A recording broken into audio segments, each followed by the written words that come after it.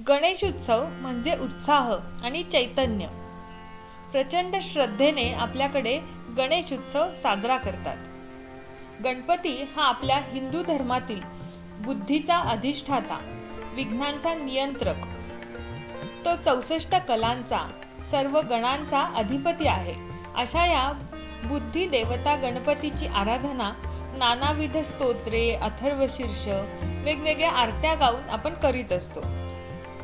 यापैकी गणपती स्तोत्र हे नारद पुराणामध्ये वर्णन केलेले लहानसे पण महत्त्वाचे स्तोत्र आहे.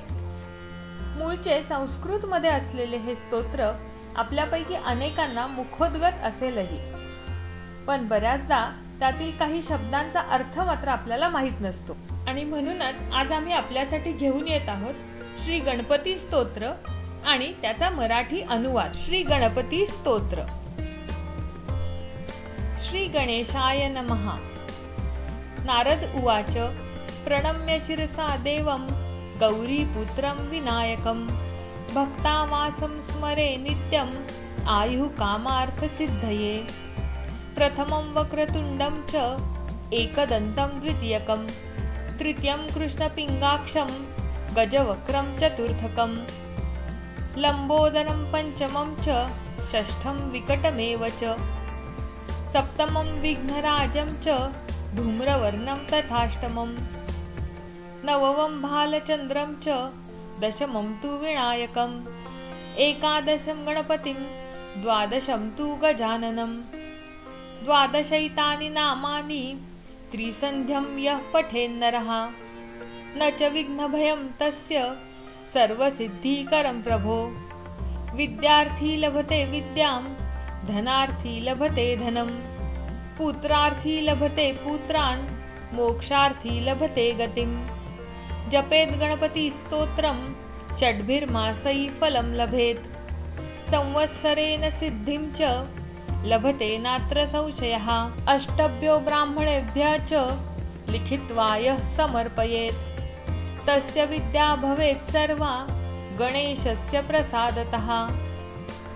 इति श्री नारद पुराणे श्री संकटनाशनम गणपती स्तोत्र संपूर्णम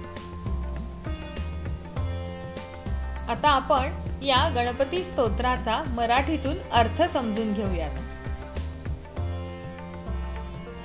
श्री गणेशाय नमहा श्री गणेश गणपती यांना नमन असो. यांना मी नमस्कार करतो.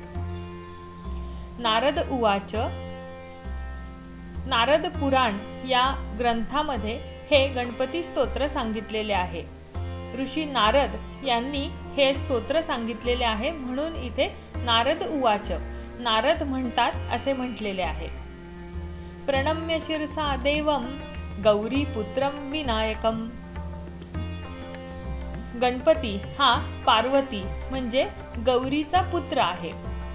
गणपतीची वेगवेगळी नावे या स्तोत्रामध्ये आता इथून पुढे वर्णन केलेली आहेत. त्यापैकी पहिले नाव आहे विनायक. गौरी पुत्र म्हणजेच पार्वती पुत्र श्री विनायक यांना नमन करा. भक्तावासम स्मरे नित्यम आयु कामार्थ सिद्धये. आपले वय आयु म्हणजे वय. आपले वय इच्छा आणि अर्थ पूर्ण करण्यासाठी भक्तीने त्यांचे नियमित स्मरण करा. असे पहिल्या श्लोकामध्ये सांगितलेले आहे. प्रथमम वक्रतुंडम च ज्याचा चेहरा वक्र आहे एकदंतम द्वितीयकम दुसरा एकदंत ज्याला एकच तात आहे. तृतीयम कृष्ण पिंगाक्षम ज्याचे डोळे काळ्या आणि तपकिरी रंगाचे आहेत.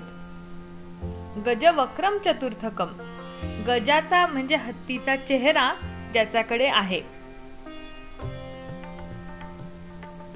लंबोदरम पंचममच पाचवे नाव आहे गणपतीचे लंबोदर म्हणजे ज्याचे पोट मोठे आहे. षष्ठम विकटमेव च सहावा विकट.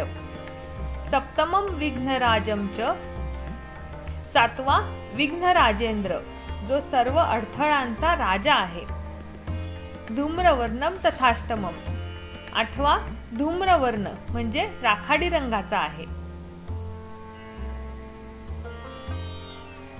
नववम भालचंद्रम च.